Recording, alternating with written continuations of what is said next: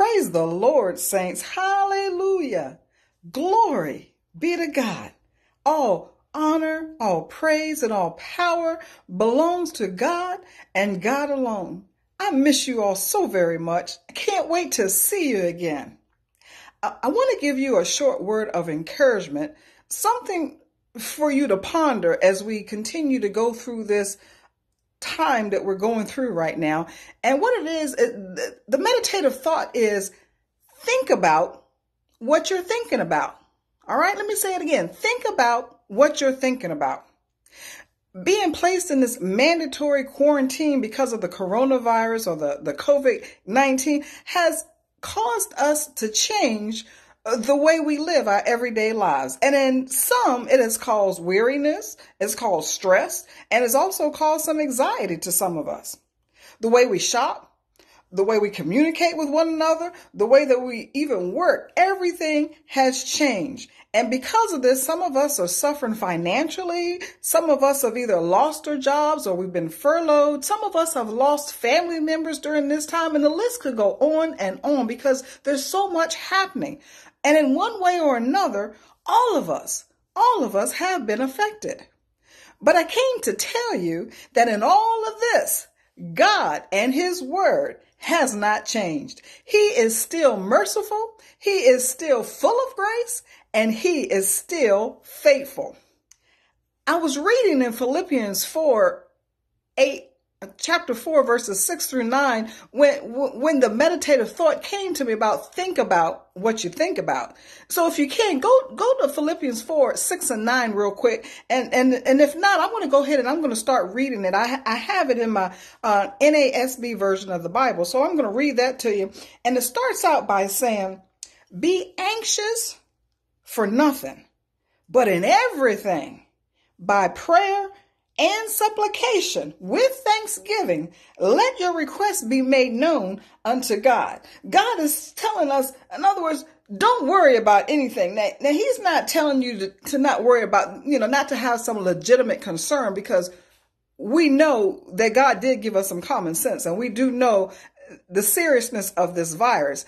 But he's also telling you, just don't dwell on it all the time. All right. He's, he says, give it to me because I'm in control of everything. All right. And then it goes on in verse 7, it says, And the peace of God, the peace of God, which surpasses all understanding, he will do what? He will guard your hearts and your minds. Some version says he will keep it. He will keep it. He will guard your hearts and your minds in Christ Jesus. In other words, God's peace far surpasses one's own understanding of the problem and his ability to cope with it and to solve it. God knows. God is able. And that's what we have to believe, saints. And then he goes on in verse 8, and, and the apostle Paul goes on and he says, Finally, brethren, whatever is true, whatever is honorable, whatever is right, whatever is good, what is whatever is of good report, if there is any excellence and if anything worthy of praise, think, dwell, or ponder on these things. So, so to, to really sum it up, verse 8 is a picture of our Lord Jesus Christ. And he says, everything that is true, everything that is noble, everything that's just, that's pure, that's lovely, that's of a good report, that's virtuous and praiseworthy is found in him. Amen.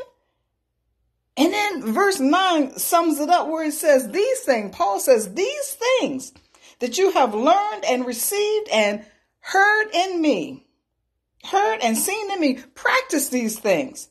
And the God of peace, the God of peace will be with you the God of peace will be with you. Isaiah 26, 3 and 4 says, Thou wilt keep him in perfect peace, whose mind is stayed on him. Why? Because we trust in him, because the Lord Jehovah is our everlasting strength. So I'm here to tell you, tell you, saints, that when you go through those moments of, of doubt and, and, and worry and, and anxiety and stress, when you feel those thoughts starting to come upon you, I want you to do what Paul tells us to do in Second Corinthians uh, 10 and 5, that last portion of verse 5, where he says, he tells us to take every thought, every thought captive and bring it into the obedience of Christ. So, so we have a responsibility because we know when we're going there and it's up to us to stop it. Okay. God gave us the ability. We can stop what we think about. We can control what we think about. All right. So, so we have to do that. And we also have to do what? Set our minds on the things above, as it says in Colossians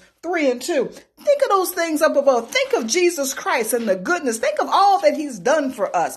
Think of how Christ has already overcome the world. So, saints, I can't wait to see you again. I pray God's blessings upon each and every one of you. And I pray, hallelujah, that God will be with you and that He will keep you in His perfect peace. Amen. Love you. Can't wait to see you again and wrap my arms around you. God bless.